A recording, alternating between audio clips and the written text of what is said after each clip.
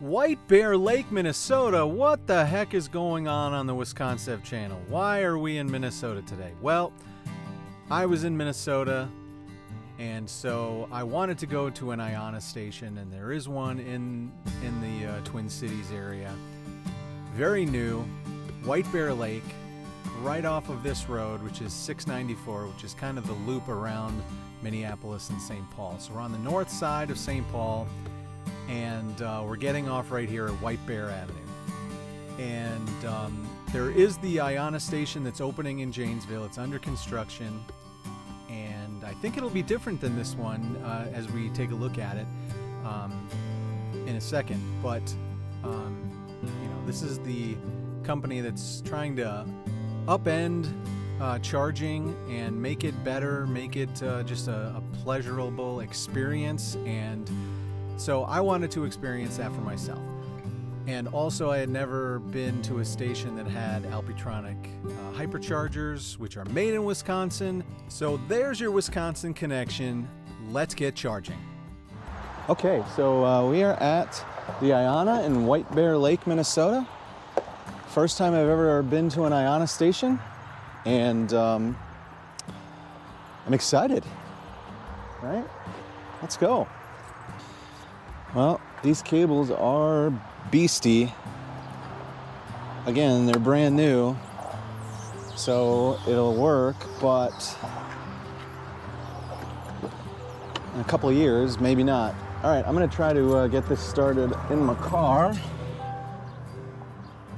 And we're going.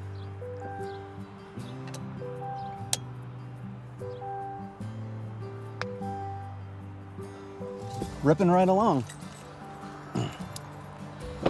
So we came in at 24, 25%, and uh, 25%.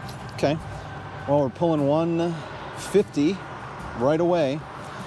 So I had to set this up into my Chevy app, um, but um, once I did that, it uh, was super easy. So minimal hassle, definitely a thumbs up. Back to the Nana cable. Um, you kind of gotta go with it. Um, they're brand new. It wants to, this cable didn't want to go the way I wanted it to go. I would have had to force it, but once I kind of like let it go how it wanted, that was fine. So a thumbs up for Nana Cable as well. Um, amenities, we're in the uh, parking lot of a Culver's. Uh, there's a sports bar in this parking lot too. Uh, we are right off the highway. You can maybe able to see the trucks and or cars buzzing by. Um, so this is a great location, so amenities, thumbs up. 28%, still pulling 155. We got to fill up, uh, taking a long drive back to Wisconsin uh, today. So only here to visit. Expected speed, I mean, 30% now, and we are ripping away at 155. So, um, yeah, I think uh, what I would say is that uh, people will uh, be excited because this they have a, the IONNA station down in Janesville is almost open. Um, it looks like it may have a canopy, or it's just going to have lights. So I'm not I'm not sure um, which way from looking at some of the pictures on PlugShare, but um, another um, probably, I know there's the Tesla super, uh, supercharger down there, but um, if you don't have a NACS car and you don't want to use an adapter, um, the IONNA station I think will be a great addition. Um, I'll go down there as soon as it opens and uh, we'll, we'll get a visit in. But um, yeah, definitely four thumbs up for this place. 139, so yeah, four for four. Let's take a look around.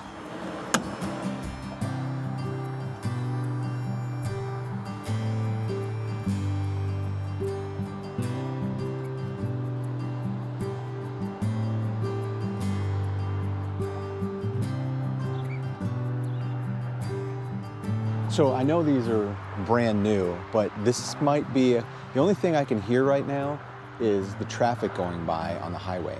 Nothing that would tell me that we're fast charging.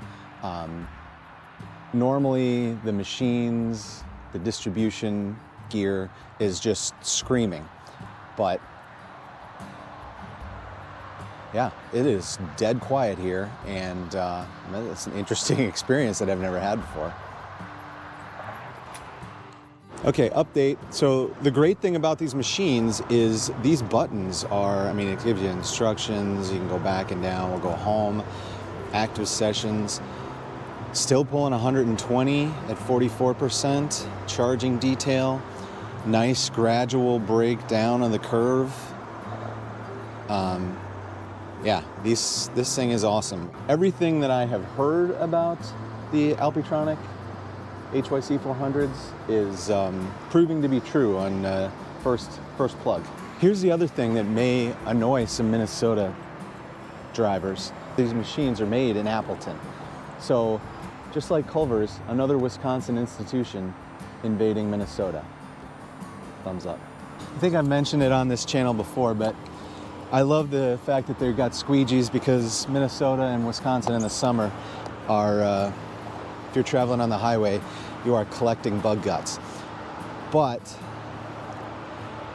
uh, I think you also may have heard that I am a fan. I believe the paper towel uh, makes the experience of the squeegee better. So, um, no paper towels. Be prepared. Oh my goodness, gradual. That's glorious. 14 minutes in, we've pulled 30 kilowatt hours and we're at 56%, so we're probably about halfway. So there are 10 stalls and they are all labeled quite nicely. One thing that I don't like about some Electrify America and other stations is that sometimes the machines are so close together that people are just grabbing cables from anywhere and you have to then react um, with you're going to an empty station you think the cable can reach but you actually have to use the one that's next across the way and uh, so you got to rearrange your car. Just frustrating but here everyone is labeled and each of the uh, machines is labeled with the parking spot so hopefully that eliminates a little bit of confusion. Next cables labels are kind of coming off here.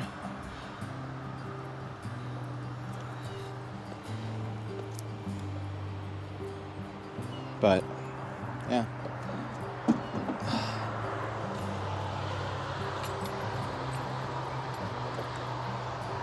Forty-seven cents per kilowatt hour. I didn't even think about that. Let's go down, down, down, down.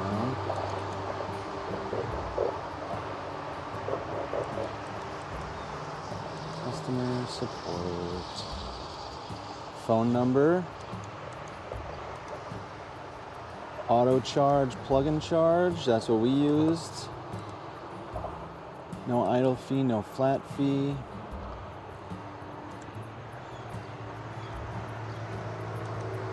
So these two have not been used for, today is uh, August 2nd. This one hasn't been used for three days, 4A hasn't been used since the 26th, so um, still learning about this station. So yeah, these. Uh, so I'm guessing the NACS. Let's we'll, we'll, check the CCS connectors too. But the NACS connectors are reporting the 26th and the 29th. So it's been several days since this machine was used. Which, right now, most cars with NACS are Teslas, and they have their own kind of network. So why would you necessarily come and charge here unless you're just cutting through. So it makes sense, but uh, I think we're like, they're future proofing by putting the NACS in here now. 68%, still at over 100 kilowatts. Cost detail, sure, let's see. Okay, back. Charging detail. Let's take a look at the uh, CCS numbers here on this machine. Um, they were both used yesterday, last night at just before 10, and yesterday afternoon at 5:19. Last night and a couple days ago for 3A. It's kind of interesting to see the information uh, where and when you know these were actually used. So I don't have my glasses on, but made in the USA. good luck on Wisconsin. Starting to come down now, right? We're about half, we're almost half speed that we were at 25%. But we're still averaging 118. Uh, car's now making some noise to try to cool the battery down, which makes sense. That's it's been cranking full of uh, electrons. Current's down to 247, voltage still at 330, so that's that's what happens. Okay, 80%. So we are gonna stop here to B. Stop. Really doesn't get much easier than this. Stats, curve. So I will see you at the next charge and hopefully at another IONNA.